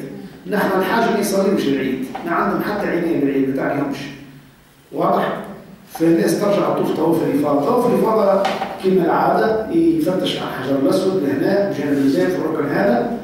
يقمر من بعيد إذا ما تجيبش بس الحجر يمشي من بعيد بسم الله الله أكبر. قبل يشير إلى فمه ويبدأ يطوف يخلي الكعبة عن شماله ويطوف سبع أشواط ويبدأ بسم الله الله أكبر ويبدأ يسبح ويهلل ويدعي ويقرأ القرآن كما يحب. حتى يكمل سبع أشواط واللي عمل السعي للعمرة بالنسبة للمتمتع لازم يعاود السعي للحج كل واحد راح العمرة عندها طواف وسعي كملناهم. والحج عنده طواف الإفاضة وعنده سعي. فيزيد سعي الآخر اللي بالتمتع أما الحج بالإفراد فعنده سعي واحد عنده طواف واحد وسعي واحد بنقص اللي هو طواف الإفاضة والسعي بشامل نعم. عنده طواف القدوم بالحاج وطواف الإفاضة زوز طوافات الحقيقة فرض طواف القدوم وطواف الإفاضة لكن عنده سعي بركة اللي هو السعي سعي الحج أما مش يعمل التمتع فيعمل طواف وسعي هذاك بتاع العمرة انتهى وبعد يعمل طواف الإفاضة ومعه سعي اللي هو سعي الحج ليه طواف القدوم؟ اللي هو بيده الطواف مش يعمل التمتع يعمل طواف هذاك هو بيده طواف القدوم ومن بعد السعي. أي الطواف الأول اللي معاه السعي هذاك طواف القدوم. وذاك خدته العمرة هذاك خذته العمر. بعد باش يحرم يوم التروية باش يعمل حج جديد باش يعمل طواف الإفاضة ويزيد معاه السعي. سعي وحده. سعي وحده خاص بالحج واضح؟ واضح. إذا كمل الطواف بتاعه الإفاضة ولا عنده كل شيء حلال. واللي عامل قيران سيدي ما يعملش سعي لا ما يعملش. فيرجع إلى ماذا؟ إلى منى. مضابيع كل ما تغرب الشمس. واللي عنده هذه بيشارككم بالطبع على كلام هناك موجود المذبح موجود في منى. كان في مكة عنده في منى. وذاك زمان مشينا المذبح العام علي التونسي. هذا رجل عاش سنوات في السعودية أولاده ولا ضباط في الجيش السعودي. اسمه علي التونسي هو تونسي قابلته مرة عند الشيخ محمد شيخ النايف زمان في الثمانينات في تونس رجل إن شاء الله أظن مات الله يرحمه عنده مذبح مسلخ اسمه معروف المذبح بتاع علي التونسي خلينا وقتها وذبحنا الخرفان بتاعنا قيل عندنا سبعة وثمانية أوس جيناهم انتقيناهم من السوق وذبحناهم الحمد لله في المذبح ويستحب الإنسان يوقع على الذبيحة بتاعه ويأكل منها نصيب لا بأس ويتصدق بكل للفقراء هذا في يخص مناسك الحج وهي سهلة بعد يرجع المينا يستحب أن يقعد ثلاثة أيام. فمن تعجل في يومين فلا إثم عليه ومن تأخر فلا إثم عليه لمن اتقى. إذا كان قعد ثلاثة أيام في مينا ممتاز. لكن بعض الناس تعجل. نهايرين ويرجع مكة جري تلقاه نهار ثالث تبدأ تبوم وحدها. فارغ لك الخيام تسخف حالها حديد الله الرحمن الرحيم فثلاثة أيام يقعدهم في مكة في مينا بعد الحج. يعني يقعد 11 12 13 ما هو يوم العيد 10 يقعد 11 12 فرض ويكمل معه 13 إذا كان استطاع. هذه هي سنة فقط لكي يحمل وبعد ذلك يرجع لبلاده يستحق قبل ما يغادر مكة يعمل طواف الوداع. نعم الوداع من مكة. واضح ثم برشا ناس يعملوا زوز في الواحد. يعمل طواف الإفاضة ينمو به الإفاضة وال والوداع. زوز. بما أنه تعجز خاطر المساحة رهيبة تصور ملايين يجتمعوا. يعني أمر في غاية العسر. طبعا عملوا طابق حتى الحرام المكي عملوا طابق يطوفوا الناس فوق. سيدي نجم ينوي اللي هو باش يعمل طواف الوداع والإفاضة وبعد كان استطاع باش يرجع يعمل لا بأس. إذا رجع لعودة قفص فما حتى مشكلة زيادة الخير في عندها شكون عنده سؤال أو استيضاح فليتفضل تفضل. أحنا فكري قلنا كي هو يعمل التمتع بالعمره والحج. بعد بعد ما يسعى بين الصفا والمروة يعاود يعمل الإحرام بالحج إحنا ما قلنا سيدي اسم الإحرام من الميقات المكاني لا ولا ولد مكة. هو ولد ولا ولا مكي أنا مش عليك مسكن وكمل العمرة ولا مكي فالإحرام من حرم أهل مكة. تو نسكن في مكة. مثلا عندي سنوات. الحج. آه الحج من من هناك. من حيث هو الحمد لله. يخرج الأقرب الحرم يخرج الأقرب الحرم اللي هو ماذا؟ اللي هو مسجد السيدة عائشة اللي هو راهو يحرم غادي يمشي بالنسبة لهناك لكن اللي بداية في الحج رجل متمتع بداية في الحج وكمل القسط الأول بتاعه اللي هو العمرة فالإحرام بتاعه ما تنحاش بدليل أنه معي يقرب زوجته فهو الإحرام بتاعه نسبيا نحى يحل له الطيب الطيب الطيب وحلق الشعر وقص الأظافر ولبس المخيط والمحيط واضح؟ مازال محرم. أنا زلت عنده صفة حرام فلما يحرم يحرم من النزلة بتاعه من بيته في مكة أو ينزل الحرم ويحرم مش لازم يطلع الميقات واضح؟ تفضل. يا شيخ يعني الفرق بين التمتع والقران والافراد أول حاجة في الطواف التمتع أنا طواف وسعي. أنا. طواف القدوم والسعي ثم يعيد الإحرام للحج وطواف الإفاضة والسعي خاص بالحج. في حين القران يعني طواف القدوم وسعي ثم طواف الإفاضة فقط. هذي. وفي الإفراد يعمل طواف القدوم والسعي وبعدين طواف الافاضه فقط. نعم. آه هي أحسن وهذا حقيقة الحج بالتمتع النبي صلى الله عليه وسلم قال لو استقبلت من أمري ما استدبرت لما سقط الهدي. يعني يتمنى أنه قلب الحج بتاعه. يعني في نهاية المطاف رجع التمتع. الكل صحيح كله طيب الحمد لله. التمتع فيه آه، يعني أكثر ثواب وأجر وفيه أكثر تعب وفيه إنفاق وفيه ذبح. قالت آه، آه، هناك أزمة أخلاق بين المسلمين أهم شيء أن خلق الإفراد لكي ينقرب من الملتزمين خاصة إلا لك خلق الإفراد صح نعم. هذا نعانيها يعني نحن عندنا أزمة أخلاق جملة في بعض مناحي يعني الناس تعاني في الأخلاق الذميمة من القمة للقاعدة نلقى حتى مشايخ غفر الله ولهم يتورطوا في سوء الخلق وتم تصدر من حاجات ومواقف ما تشرفش الإسلام ولا حول ولا قوة إلا بالله أنتم حلوا صفحات المواقع الاجتماعية الفيسبوك وشوفوا الخمار بتاعنا وشوفوا التعليقات بتاع الشباب الإسلام وبتاع الشيوخة والشيخات شيخات وطلبة العلم. يعني قدح وذنب وسب وتكفير وتبديع هذا صدقوني ما عادش نحب نقرأ؟ حتى أهل القرآن أنا مرة مرة زوجتي مشينا عملنا حملة الفاروق. لنصرة أمهات المؤمنين وقتها كان عادتها قناة الزيتونة الفضائية قبل أسبوع كامل وقتها عام آخر 2011 أظن هكذا أول 12 نسيت فصارت لنا إشكالية مشينا لقابس ثم مشكلة أخرى بين الشباب وبين الأخوة في لجنة جمعية تأدية المساجد. فقلنا مش نعمل دروس في المساجد. قالوا لا ما تعملوا دروس في المساجد خاطر علمتوناش وفجعتونا وشنو يعني صارت إشكالية والله تألمنا نحن تو إحنا مجموعة من المشايخ مشينا بتونس باش نعرف الناس بالصحابة باش ننصر لأنه هي بس تخدم يعني فقه الشيعة ثبت لنا في شيء. يسور وجود ولا ينشر في الضوابط بتاعهم فوالله تألمت عملنا غاديك الحملة بتاعنا في الحامة وفي الجيش ما خلناش ندرسوا وخيالنا يعني احباب تألمنا والله تألمنا على لما رجعت إلى تونس عملت خطبة الجمعة وذكرت خلاصة الحملة اللي عملناها من فضل الله. وقلت ترى لقينا بعض ال- الإيذاء من بعض الخيانة غفر الله لنا في جيمس هذا ما يليقش إحنا مسلمين كله خيانة ونتعاون لأن الخطر ده يديها مش يضر تونس كامل خطر الشيعة معروف العيد كلها اللي عملوه الآن في سوريا أحسن درس. أنا مرة عندي مقال موجود تلقاه على الصفحة بتاعي من عام 2012 تقريبا عنوانه الثورة السورية وفضيحة الشيعة. لما وقعت حادثة الحولة. اللي قتلوا فيها 120 واحد من القضايا هبطت المقال عاد قلت قلت لو كان كتبنا 100 كتاب وعملنا 1000 محاضرة باش نحذر الناس من الشيعة ما اقتنعوش. لكن الحرب السورية هذه رغم الدماء والأشياء اللي فيها اعطت درس واعطت كشفت المستور وفضحت الشيعة على حقيقتهم. وظهروا بانهم أمة طائفية حاقدة على الأمة الإسلامية يعني تكن كل الكره والحقد لهذه الأمة. ويكرهون الصحابة ويسبوا السنة يعني والعياذ بالله. ويعجبوا بقتلنا نحن باش المتضرر يخرج بالسرداب بتاعه. ولا حول ولا قوه الا بالله خرافات. يبدو يدب الوحيد مع الاخوان السوريين على ليش على ليش يبدو الشيخ بتاعهم يهلوا يبدو يقرأوا الاناشيد بتاعهم أصحاب العمائم السوداء قاتلهم الله. من ايران وحزب الله وبشار الأعشى عاد نخوة في اليابس اطلع على الخطوة تاعي برشا يتبعوا فيها وكذا. قالوا كيفاش هذا ينتقد فينا ويسب فينا؟ ويعملوا رد. ويجتمعوا ويعملوا لي فيها رد. يعملوا بيان كامل ضد مختار الجبالي فيه ثمان نقاط.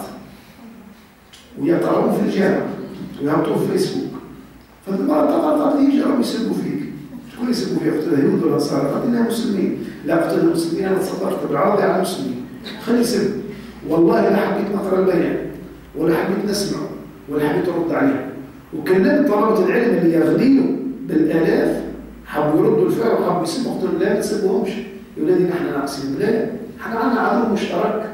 هذا العلماني الملحد هذا اللي يحب يشتف الاسلام ويحب يدور مشروع الإسلام هو العدو تاع حقيقته أما هؤلاء المخيمة فربي يتوب علينا وعليهم غفر الله لنا ولهم زي ضيعوا اوقاتهم لا حبيت نقرا ولا حبيت نسمع ولا حبيت نرد خلوهم. توا يفيقوا غلطتهم أنا ما عنديش مشكلة مع المسلمين عندي مشكلة مع غير المسلمين. والله لا حبيت نرد ولا حبيت كذا. خاطر يضيع وقته حرام جنون هذا. كل مسلم يحب يحب جبهة مع أخوه ويعارض ويخاصم أنا نراه مجنون أو نراه جاهل بالإسلام. حتى لو اختلفت أنا وياك ولو ماش فرد موجه يلزمنا نحترم بعضنا ويلزمنا نحطوا اليد في اليد ولو نشتركوا في 50% بينما نحن مفضل نشتركوا في 70 و 80% فاللحظه الراهنه تتطلب من كافة أهل الإسلام أنهم يتغاضوا على بعضهم ويحسنوا الظن ببعضهم ويتعاونوا وإلا راهم مش يتكسروا واحد واحد. وهذا اللي وقع الآن ترى في المثل البارز في أرض الشام. جماعة مجاهدين بنحيهم من أهل السنة موحدين. والآخرين كيفهم؟ يقتلوا في بعضهم. كما رقم في إحصائية 4000 قويش ماتوا. مش قتلهم بشار وحلف الناطو قتلوا بعضهم. مصيبة يعني تخلف. كل واحد يذهب في الخيانة والآخر يرجعنا بالتهمة كلهم على خير كلهم صالحين زي ولا حول ولا قوة إلا بالله. فمصيبة الأمة الإسلامية هي الفرقة وغيابك الاخلاص لله أنا نراها غياب الإخلاص. لو كان جينا مخلصين لله رانا رانا ترفعنا عن الحزبية الضيقة والجمعيتية والعصبية المذهبية. أنت أنت تحب الإسلام. أخوي مرحبا بك جماعة ما يهمنيش فيك؟ ما لا حزب ولا ملة ولا فرقة. المفيد تكون أهل السنة. أنا لا نتعاون زوز نستثناهم من العون والعدو المشترك هم الشيعة والأحباش. تبع فريد الباغي قوانا مجرمين لأنهم زوز أصناف لا نتعاون معهم لأنهم أعداء المشروع الإسلامي غير أما بقية الطوائف كله خيانة. فيلزم في محور الرهن ناس نحكي الخزعبلات وقاعدين نقيل وقال ونقتل بعضنا. تدعك خوك اجتهد وغلط وربي يغفر وربي يتوب عليه. أنت شنو النجم تاعك وريني إيش عندك. كان كراجل كان كمراح ولا وري هذا لنا قعدنا كنا ننتقد معه والله غريب الناس تلقاه قاعد في بيته وكان يكتب تعليقات في فيسبوك وما على بالوش منمي راقد في برج العاش مش داري على الواقع والهم اللي تعاني فيه الناس والضغوطات والمأساة والمصايب. مش وقت تعليقات. كان عندك حاجة قدمها للأمة. قدم للإسلام. مش جماعة تونسي مش جماعة جاهل بالدين مسكين. وفيه خير كثير لكن يستلم شكون ياخذ ايده شكون يوعى شكون؟ نحن اللي لاحظتها عند النخب المثقفة سماها النكبة المثقفة وعند الدعاة والمشايخ وعند طلبة العلم لاحظت عندهم كبر. ولاحظت عندهم تعالي وترفع أجوف وفارغ على الأمة والله الأمة الإسلامية فيها كل خير. نحن مطلوب لنا شوية أطوار ونهبطوا ونكلموا الناس بلغاتهم راك تشوف المواضيع اللي يطرحوا فيها الشباب في الفيسبوك قريب ترى راسك أحد يحكي في مواضيع لا علاقة لها بالمجتمع التونسي. لا علاقة لها المجتمع التونسي. التونسي مسكين جيعان يلوج على خبزة يحب على الخدمة يتخاصم هو معته يتعارك هو ولده عنده مشكلة هو ما عرفش فلان حاول باش تحل مشاكل كان كراجل هذا الإسلام الإسلام يحل مشاكل الناس يعطي البديل الحسن ويعطي الشيء الطيب. أما نحن قاعدين عايشين في برج عاجي كمان كما الإنسان يتعاطى في المخدرات لكن يحشش ويشم ويتعاطى في الزلطة وعايش في على الآخر نحن زاد هكذا نعالج في مشاكل لا علاقة لها بالمجتمع التونسي. ونثير في خصومات ونثير في قضايا التونسي ما يسمعش بها اليوم ما يعرفهاش فهكاك مش بتشوف مزبلة التاريخ والناس لا ينتفعوا بنا ولا يرحمونا. وكنت تشوفوا أنتم تو المسلمين معزولين في الركن في الزاوية. لانهم ما احتكوش بال وتشوف بعض الشيوعيين وبعض الناس اللي هم حكموهم بالشر والخبث وال- وكذا يحبوهم عندهم شعبيه أنا أتألم لما يجيني ولدي يتدرب في الملعب في الرياضة ولا يقرا في المعهد يقول لي راهو معنا أولاد يدافعوا على محمد همام والحزب الشيوعي وما يحملوش فيه. أنا مخي يوقف ونقول كيفاش هذا المصري يحبوا هؤلاء؟ لأن هؤلاء رفعوا شعار الخبز والمعيشة والعمل والطبقات البسيطة. تكلموا بلغة الشعب بلغة الناس بلغة الميزيريا نحن نحكي على عالم القبر وعلى الجنة والنار ونحكي على داعش والنصرة وعلى التكفير والتبديع. مواضيع لا علاقة لها بالأمة الإسلامية. الأمة هذه تعبانة مسكينة محتاج شكون يرحمها شكون ياخذ بيدها ولذلك علاش نقول لبناتنا ووليداتنا اطواروا شوية وهبطوا مستوى الناس ومشيوا دقوا على البيبان. وزوروا المرأة الكبيرة وكان المرأة المهمومة كان كل بينا الدار والصابون والخيشة والسطل نحكيوا معاها. قلت لهم الحلقة اللي قبل قلت لهم لو كملنا. الطهارة والتيمم والغسل. نتمنى لو كانت تكونوا حكماء وحكيمات وتمشيوا تلموا النساء عندكم في الحي وتعملوا دور في الطهارة. صدقوني ثم برشا نساء يصلي ما تعرفش كيفاش تطهر. ولا تعرف تغتسل ولا تعرف شنو وقت الوضوء ولا تعرف الحلال والحرام. مصيبة. كيما حكيت حكيت لكم المراه أستاذة مثقفه تسأل قال ترى زوجي أنا يجمع فيه في نهار رمضان مريض بالسكر خير أفطرت ولا لا؟ ما تدريش انه الأمر هذه فاطر يعني مصيبة مصيبة مصيبة. وهذه لك الكلمات والاخطاء اللي هي فظيعة. ولكن نحن ما علمناش الامه مرة سفيان الثوري رؤية في المنام بعد ما مات في أعلى عليين فقالوا له يعني بنا غفر الله لك.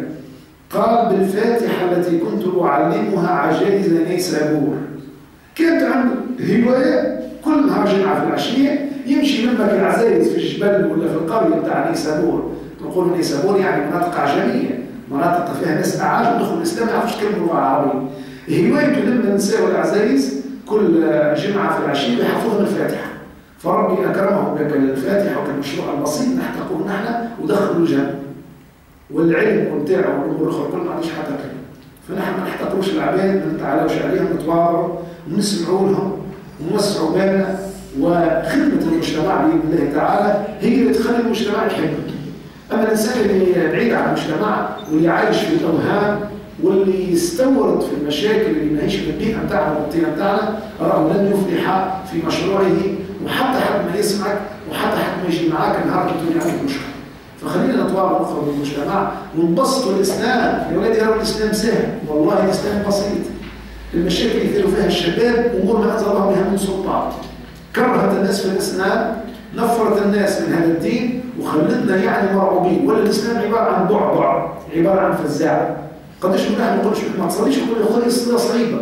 راهو يحكوا عليها ما ما نكدهاش حليلي صعيبة إيش صعبها بسبب العرض المسود بسبب الدعوة المتخلفة اللي يعرض فيها الناس. سبحان الله دين الله يسر. فكما قال عليه الصلاة والسلام في الصحيحين يسروا ولا تعسروا وبشروا ولا تنفروا نقول عندكم. العلم اللي تقرأوه في الجمعيه دي مش باش تعملوها كناموس ولا هكا ريشة في قروصك لا هذا علم باش تطبقوه اولا ثم تنشروه بين الناس باللغة السهلة. باللغة السلسه البسيطة باش ربي لكم نحن نحب الناس تعبد ربي وما تدخلش للنار وقادرين والله الإنسان حلو وبيساعد بالنا باش نعمل برشا حاجات بإذن الله تعالى. شيخ طول نجم نلقى معهم حل المشكلة اللي عنده آراء فكرية مثلا كما بعض الأخوة كما المداخله ولا حاجة يعني أقل حاجة يبدلك ويكفرك ولا يصلي معاك ولا ولا يكلمك أصلا حتى السلام عليكم ممكن هذيك كيف تتعامل معاهم؟ أنت كانك بعقلك وحكيمه ما تقوليش بهم الناس هم نحسبهم أموات. وش؟ ومن هؤلاء؟ كما قال القذافي قال أنتم؟ من هؤلاء؟ هؤلاء ما يمثلوش حتى واحد في المية مجتمع التونسي. فهذوما باش يمشيوا في مسدات التاريخ وسيموتون. ما تحكيش معاهم تمشي للناس يلوجوا فيه. ثم ناس مشتاقين. والله مرات نمشي لبعض الولايات صدقوني. الإنسان يبكي على كثر الترحاب والحفاوة والناس تقبل عليك تلقاها يبوس واللي يعنق واللي كذا. ناس مشتاقة إلى الدين. تحب تتعلم دينك فمشيوا للناس البسطاء هذوكم فيهم الخير والبركة. ودعوكم الدمغجين هذوما اللي عاملين ارواحهم علماء وهم يعني بلة وأبعد الناس عن العلم. فربي يتوب عليهم وعليهم وربي يرجع لنا ما تضيعوش اوقاتكم وانشروا العلم بالحكمه والموعظه الحسنه وعندكم مجال كبير واشتغلوا وبفضل الله الست الفرد عملنا خدمة دعوية آه، في باب حرب يعني في حمص بورقيبه ما شاء الله. اقبال رهيب من الناس والمصاحف الكل توزعت والنشيدات الكل توزعت والفلاير والأوراق والمطويات ناس مشتاقة ومتشوقة. شوية بركه نحن نتواضع الناس ونبسط المعلومه ونبعد عن العنف وعلى تهويل الأمور الناس عملناها وخوفناها. تسمعوا جعجعه مطر طحن فهم شيء. كلام كبير من غير حد شيء. تفضل. سيدي جاني جارتي تحب تلبس الحجاب. وزوجها ما حبش. ولا يضرب في الأولاد ولا ولا ولادها يقولوا لها ماما فك علينا انت ما حلك من غير. اخترنا مشاكل. قالت له عمل لي مشاكل في الدار. حتى العائلة الكل قالوا لها توا ذكرته حجاب باش تهدم عيالتي وشد صحيح ما حبش. قلت لها نسألك ما عرفش نقول هو رجلها مسلم. هو أنا مسلمه ما يصليش وما تلبس الحجاب قد كبيرة الأمور هذه. هكذا في الأربعين. نسيت لا يا أختي هذا حق ربي هو هدايا المفروض أن واحد يحاول على جهتي يحاول باش رجلها إن شاء الله أثر عليه. إذا كانت هالشركانية تبعث راجل رجلها يحكي معاه قتلوا باش يكلم راجل صاحبتها يعني. قال لها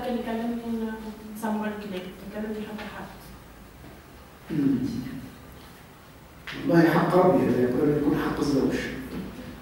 والخمار بالنسبة للمرأة هو واجب فرض بكذا لا يجوز لها شرعا باش تكشف عورتها وتكشف شعرها لا يجوز. هي تستعين بالله تدعي رب العالمين سبحانه وتعالى برشا في سجودها.